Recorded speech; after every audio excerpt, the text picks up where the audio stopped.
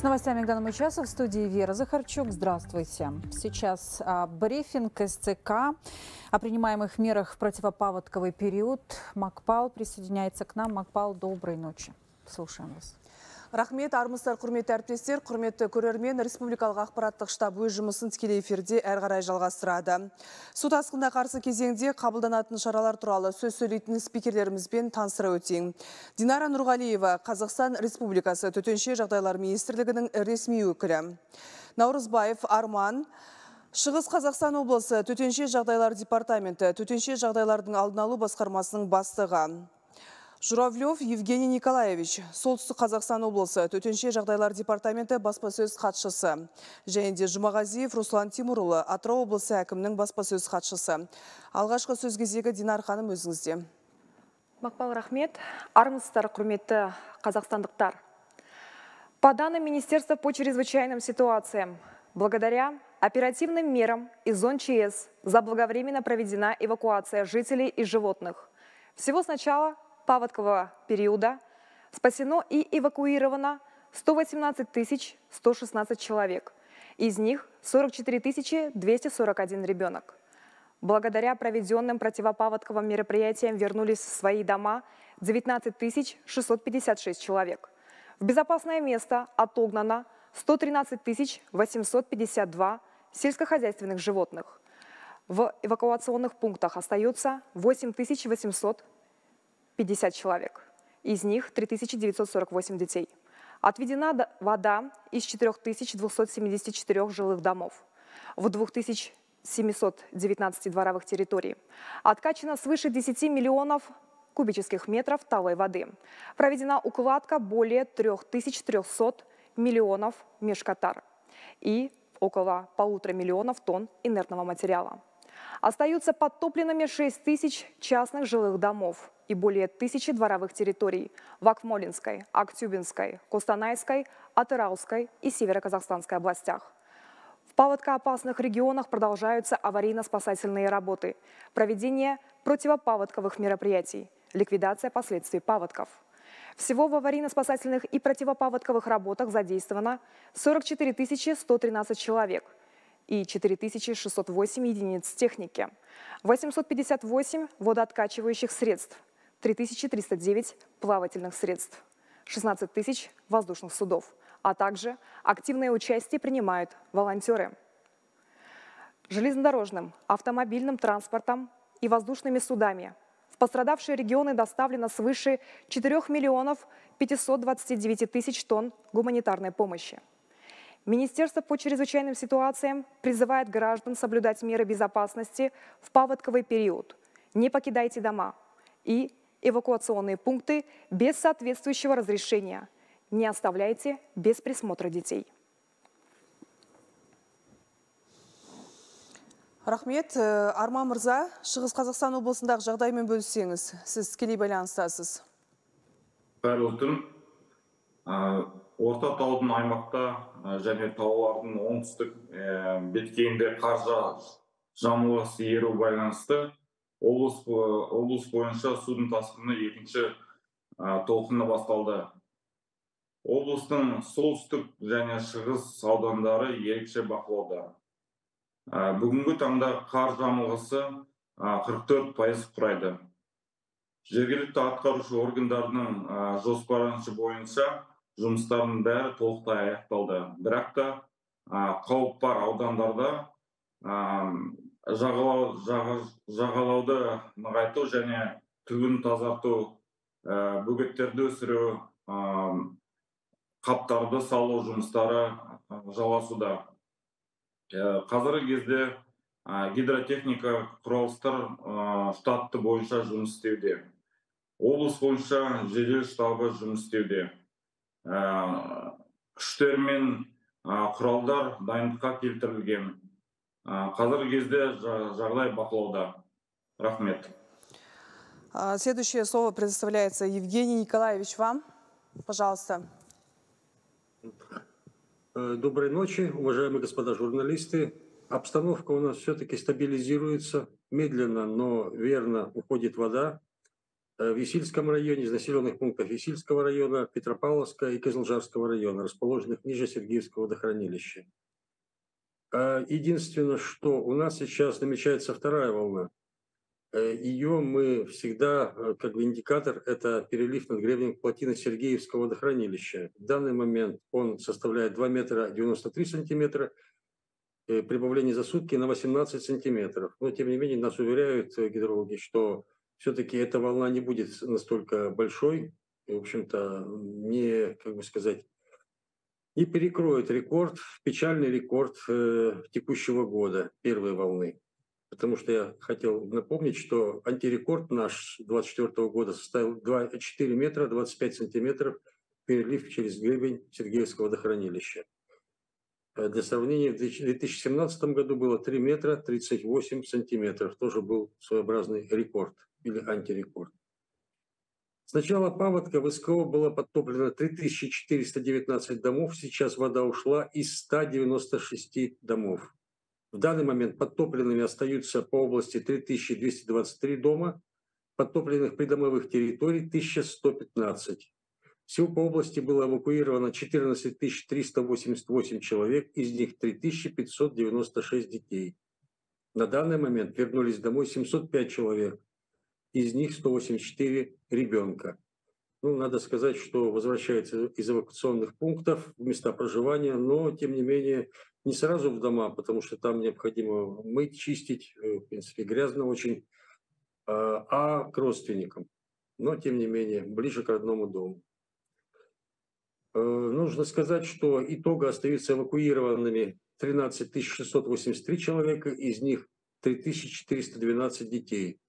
В эвакопунктах размещено 879 человек, из них 153 ребенка. 5046 голов скота перемещено в безопасные места.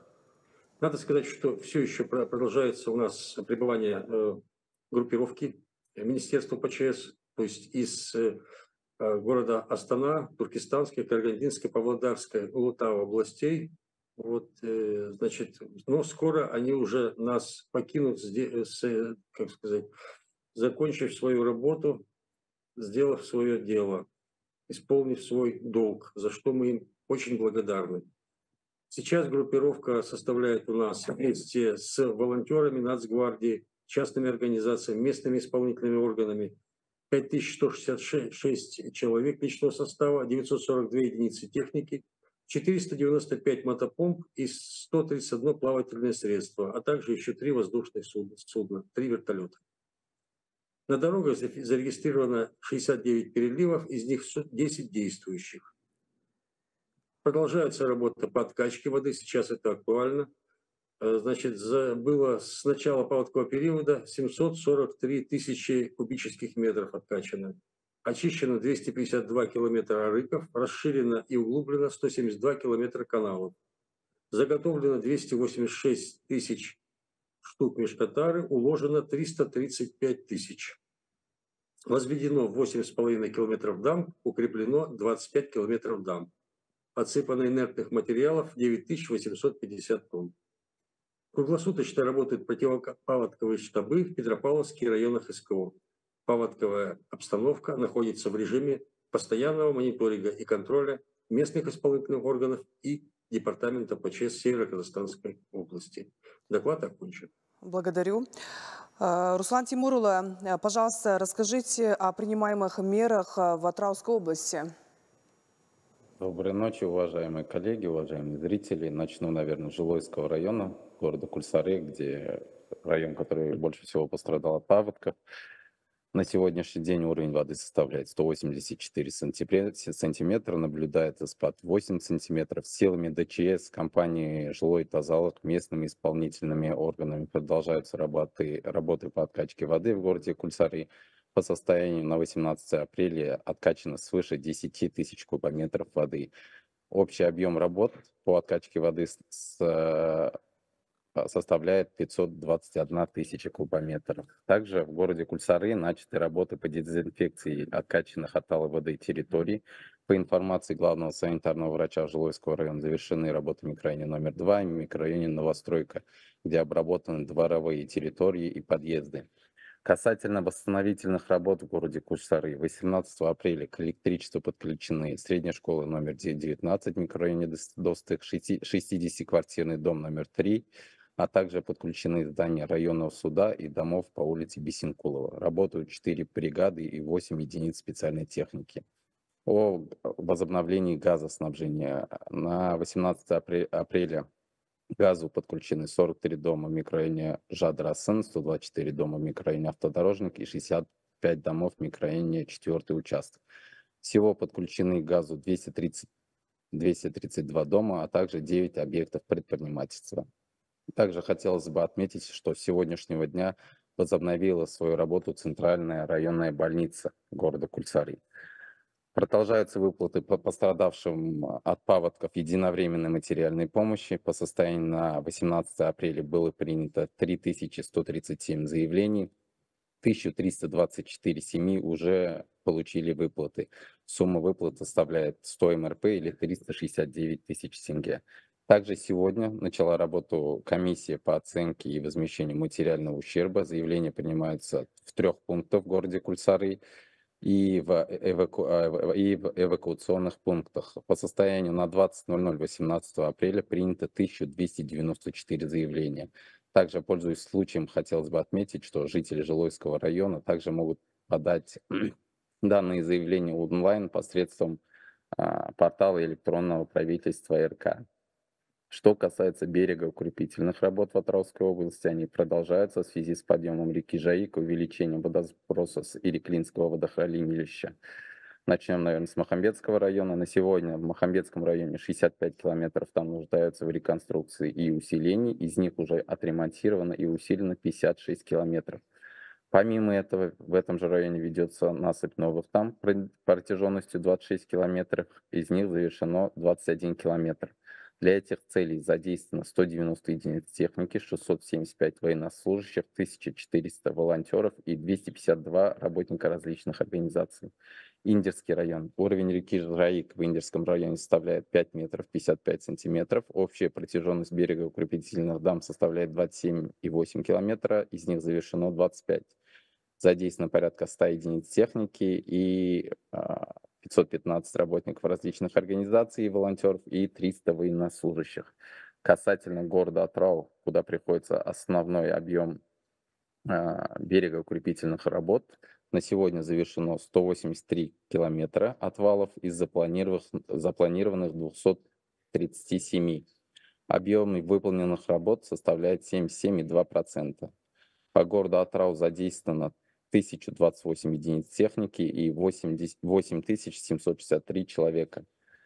Также хотелось бы отметить, что в регионе ведутся очень важные работы а, в целях ускорения выхода воды из реки Жайк в Каспийское море продолжаются углубительные работы в устье Урала-Каспийского канала, где текущая глубина устья составляет всего 40-50 сантиметров. По завершению данных работ ожидается, что глубина устья увеличится с 40 сантиметров до 2 метров, что будет способствовать более эффективному стоку воды из реки Жаик в Каспий. А, на сегодня задействовано 5 единиц специальной техники, это снаряды и многофункциональные снаряды амфибия. А, в целом по Атраусской области проводятся противопаводковые превентивные мероприятия, где возведены защитные дамы общей протяженностью 392 километра. Объем выполненных работ составляет 74,6%. Уложено более 2,5 а, миллионов единиц мешкатары. По состоянию на 18 апреля по области в этих работах задействовано 17 758 человек и 1770 единиц техники. Спасибо за внимание рахмет құрметті әріптестер құрметті көрермен әзірге айтарымыз осы назарларыңызға рахмет макпал спасибо ну а мы продолжим выпуск э, с другими темами Президент Кыргызстана прибыл в Астану с официальным визитом. Касмжумар Тукаев встретил коллегу в столичном аэропорту, где выстроили почетный караул. Главы государств планируют провести двусторонние переговоры и подписать ряд важных документов. Казахстан и Европейский Союз намерены расширять сотрудничество в области управления водными ресурсами и развития сельского хозяйства. Эти вопросы станут ключевым, э, ключевыми в двусторонней повестке этого года, высказался посол представительства Европейского Союза э, Кестутис Янкаускас во время встречи с премьер-министром Ужасом Бектеновым. Глава Кабмина сегодня провел диалог с главами дипмиссии ЕС. This session's topics of water resources management and agriculture как вы знаете, Казахстан столкнулся с крупнейшим за все время наблюдения наводнением, связанным с аномальным притоком паводковых вод. Масштабы и последствия стихийного бедствия требуют от нас кардинально новых подходов для правильного использования ресурсов и недопущения подобных происшествий в будущем. В данном вопросе нам особо интересен передовой опыт и наработки европейских стран и компаний. В этом свете видится важным синхронизировать синхронизировать усилия правительства Казахстана с программами содействия ЕС, в том числе по развитию устойчивой водной инфраструктуры. В этом году мы наблюдаем аномальный приток паводковых вод, особенно в бассейнах рек Табол, Исель, Жаек и Елек. Водохранилища заполнены, что позволит обеспечить население питьевой водой, сельскохозяйственной угодья ирригационной водой и промышленность необходимыми ресурсами. В связи с этим, в соответствии с поручением главы государства, мы дорабатываем положение концепции развития системы управления водными ресурсами с целью разработки комплексных мер по предотвращению паводков и сокращению ущерба от них. Для разработки эффективных подходов будут изучены лучшие практики передовых стран. Учитывая опыт Европейского Союза, в том числе Нидерландов, и прогрессивные подходы в области управления водными ресурсами и смягчения последствий наводнений, мы перенимаем опыт изучаем возможности, которые могли бы помочь в наших усилиях по немедленному реагированию. Участники заседания отметили плодотворное сотрудничество и в рамках совместной агропродовольственной миссии. Премьер-министр призвал зарубежных гостей создать совместные проекты по переработке продуктов УПК. Добавлю, в стране уже работает около 6 тысяч совместных предприятий. Товарооборот между Казахстаном и странами Европейского Союза составляет 42 миллиарда долларов. В Министерстве внутренних дел возбудили уголовные дела по факту гибели людей во время паводков. Об этом на брифинге в СТК сообщил официальный представитель ведомства Шангыс Аликешев. Такие случаи зарегистрировали в двух регионах страны. Началось следствие. Фактов гибели граждан именно по причине затопления домов и объектов не зарегистрировано.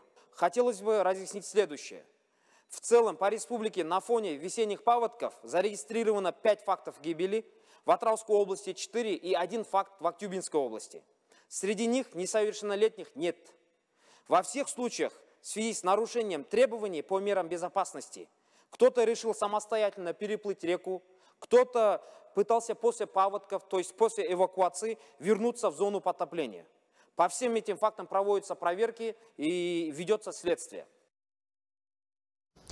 19 656 казахстанцев вернулись в свои дома. В пунктах эвакуации остаются больше 8 тысяч человек. Свыше 6 тысяч домов и тысячи дворов остаются потопленными в Акмолинской, Актюбинской, Кустанайской, Тараусской и Северо-Казахстанской областях. Об этом сообщил официальный представитель МЧС Динара Нургалиева. Противопаводковые мероприятия продолжаются. В них задействовано больше 40 тысяч человек. В пострадавшие регионы доставили свыше 4,5 тысяч тонн гуманитарной помощи. Три тысячи дачных домов подтопило в Уральске. Большая часть из них расположена в пойме реки Урал, где уровень воды продолжает подниматься. Жители садоводческих товариществ эвакуировали, многие разместились у родственников. На местах круглосуточно дежурят спасатели и сотрудники полиции. Подробности у Альбины Кумаргалиевой. После выхода на пенсию Александр Козловский вместе с супругой решили уехать подальше от городской суеты. Продав квартиру, построили дом в дачном массиве «Сокол». Три дня назад их срочно эвакуировали. В спешке супруги забыли дома документы. Документы, думал, что жена забрала, она думала, что я забрал. Ну хорошо, я их поднял на крышу. Вернее, она подняла, а не я. Вот и все. И тоже собачки вот маленьких подкормить. На этих дачных массивах дежурит спасатель из Козларды. Оперативный отряд прибыл в регион неделю назад в составе 68 человек со своей техникой. Мы сейчас проводим, с людьми ездим по им дачным поселкам, они проверяют свои дома, фотографируют, делают фиксацию. Если есть кошки, собаки, их вывозим всех с людьми вместе. День по 15, по 20 рейсов делаем. Это район Первый дачный, как видно, все дома здесь полностью под водой. Добраться до них можно на лодках, либо на такой вот э, специальной технике. К слову, этот вездеход привезли из Алматинской области. Несколько дней назад в Уральск прибыла колонна такой техники. Помощь отправили алматинские предприниматели. С помощью таких вездеходов амфибий эвакуировали уже не один десяток людей и животных. В таких дачных массивах, а, где очень узкие улицы, э, техника спокойно добирается а, до любого жилого дома. Эта техника может не только преодолевать болотистые местности, то есть если уровень воды высокий, она спокойно может проплыть, а, дойти до необходимой точки. По последним данным Департамента ЧС, в Уральске за эти дни подтопило почти 3000 дачных домов. Помощь местные власти обещают оказать всем пострадавшим. По дачникам сейчас, э, вчера только было, состоялось заседание правительства, где были э, рассмотрены эти вопросы и э, собираются предложения с регионов именно по дачным участкам. Мы свои предложения тоже отправили и сейчас окончательное решение будет принято Э, алгоритм будет разработан, и тогда, э, я думаю, э, все точки расставим. Но в любом случае президент сказал, ни одна семья не должна остаться без помощи государства. К слову, в Западно-Казахстанскую область на помощь прибыло около двух тысяч спасателей военных, 900 единиц спецтехники из семи регионов страны. Альбина Кумаргалеева, Ербол Мендагалеев, Эльдар Аюпов, 24 КИЗ, Уральск. К другим темам. Казахстанские и российские вузы будут совместно готовить кадры для промышленности. Укрепление двустороннего сотрудничества в образовательной сфере обсудил а, посол Казахстана в России Даурен Абаев в Томске с губернатором региона. Сейчас в местных вузах учатся около пяти с половиной тысяч казахстанских студентов. Дана Нуржан с подробностями. По числу казахстанских студентов среди всех регионов России Томская область занимает второе место после Москвы. Это ведущий центр подготовки кадров для промышленных предприятий. Даурин Абаев встретился с казахстанскими студентами и выступил с лекцией в Томском государственном университете. Он напомнил о прямом поручении президента – сделать высшее образование более доступным и открыть филиалы ведущих мировых вузов в Казахстане. И с Россией у нас есть хорошие примеры. И это университет нефти и газа имени Губкина. Вы знаете, что для нас это тоже важное направление. И в Атраву они открывают филиал. У нас есть... Э, сейчас идет процесс открытия филиала Менделеевского э, химико-технического института МИФИ. То есть у нас большой спрос на все это есть. И почему бы не поработать с томскими университетами? Я думаю, и это тоже большое направление, перспектива есть в этом. Именно о продолжении, о курсе не только научно-образовательном, а уже и целевой подготовки студентов, и такие, вот такой, как, э, например, для атомной промышленности или для малой энергетики, то есть где, где у нас компетенции сегодня очень высокого качества, мы готовы готовить специалистов, э, которые будут возвращаться на предприятия Казахстана и уже э, эти знания реализовывать в практике. Между томскими и казахстанскими вузами действуют более 30 соглашений о сотрудничестве. На встрече одной из наиболее эффективных форм назвали сетевое взаимодействие, основанное на совместной разработке образовательных программ.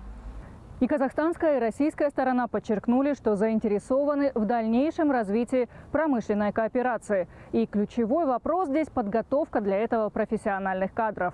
Поэтому перед вузами двух стран стоит глобальная задача – создания единой, бесшовной среды непрерывного образования на евразийском пространстве. Дана Нуржан, Шахзот Гамиров, Россия, 24 КЗ. Есть чему поучиться и о своих талантах рассказать. В Кыргызстане проходит международный студенческий театральный фестиваль «Новые имена». Приехали в Бишкек и казахстанские студенты. Бакы Чермашев расскажет. Азербайджан, Казахстан, Кыргызстан, Россия и Узбекистан. В этот раз география фестиваля представлена этими странами. Студенты учебных заведений, изучающих театральное искусство, встречаются уже девятый год подряд. Кроме конкурсной программы, фестиваль наполнен мастер-классами известных актеров, которые рассказывают молодым людям о таинствах игры на сцене не только как педагоги, но уже почти как коллеги. Вот эти спектакли сейчас объединяют разные школы, национальные школы, мы учимся друг у друга. Новой технике. Молодые э, учатся у старших. Мы стараемся передать то, что у нас нажито опытом своим студентам, а студенты, в свою очередь, э, общаясь между собой, взаимообогащаются. Казахстанцы покажут местным зрителям два полноценных спектакля. Это «Ночь воющего волка» и «Кармен». Причем студенты решили отойти от всемирно известного жанра оперы Жоржа Бизе и рассказать историю цыганки Кармен в собственной оригинальной постановке. Насколько удачной и вдохновляющей оказалась игра молодых актеров, решит жюри международного фестиваля, состоящее из известных театральных деятелей каждой из страны-участницы. Был спектакль «Кармен» — это яркая история о трагической любви. Наша постановка считается оригинальной из-за того, что автор решил рассказать о случившемся своим особенным языком. Мы показываем этот спектакль уже не в первый раз. На подобном фестивале в Москве мы ставили его на сцене ГИТИСа. Вместе с этим постараемся показать его и нашему казахстанскому зрителю. Победители международного студенческого фестиваля будут определены по нескольким номинациям, в том числе лучший спектакль, режиссура, драматургия и даже критика. Среди актеров будут названы лучшие исполнители мужской и женской ролей, в том числе и второго плана. Не забыли организатора фестиваля и о метрах сцены. Для них учрежден приз «Наставник творческой молодежи». Бакы Чермашев специально для 24 КЗ, Бишкек, Кыргызстан. Касым-Жомар Тукаев и Садыр Джапаров посетили гала-концерт мастеров искусств Казахстана и Кыргызстана. Об этом сообщает пресс-служба Курды. Мероприятие прошло во Дворце мира и согласия. На сцене выступили известные деятели культуры двух стран, артисты Астана опера, творческие коллективы. Были прочитаны отрывки из этноса Манас, а также исполнены известные музыкальные произведения и хореографические композиции. Концерт посетили члены официальной делегации, представители творческой интеллигенции Кыргызстана. Государственный советник Ирлан Карин и государственный секретарь Кыргызстана Сюнбек Космамбетов приняли участие в работе форума представителей интеллигенции, творчества Казахстана и Кыргызстана. Мероприятие прошло в Астане в рамках официального визита президента Кыргызской республики Садыра Джапарова в Казахстан. Ирлан Карин в своем выступлении отметил, что форум дает уникальную возможность для прямого общения представителей интеллигенции и творчества двух стран, поддержки современных востребованных проектов в сфере литературы, искусства и других областях межкультурного взаимодействия взаимодействия. Участники диалоговой площадки рассмотрели актуальные вопросы развития творческого потенциала, преемственности поколений, духовного и культурного наследия двух стран. Вместе с тем обсудили новые инициативы, наиболее перспективные направления сотрудничества в области литературы и искусства. По итогам форума Ирлан Карин выразил уверенность, что высказанные все предложения и рекомендации будут способствовать взаимному обогащению культур и развитию гуманитарных связей. Музейные комплексы под открытым небом, дома, улицы, скверы преображают на востоке страны. Больше ста тысяч жителей регион, региона задействовались, э, задействованы в экологической акции. Это за Казахстан за несколько суток силами общественников привели в порядок площадки у родников а в горной местности, пригородные участки и парки Усть-Каменогорска. Коммунальные службы предоставили всю необходимую спецтехнику. Такая генеральная уборка продлится еще несколько месяцев. Экологическую акцию «Таза Казахстан» поддержали во всех городах и районах области. У нас на самом деле ежегодно люди добровольно выходят на субботники, общественность организовывает и самых труднодоступных даже участках выходят и а, проводят субботники. Это уже такая культура, сформировавшаяся среди жителей города Усть-Каменогорска. В Актубе все больше молодежи присоединяется к экологической акции «Таза Казахстан». На этот раз инициативу в областном центре поддержали студенты высших учебных заведений. В планах и посадка деревьев. Одним субботником дело не обойдется. Студенты намерены и дальше активно участвовать в экологической акции, которая продлится несколько недель.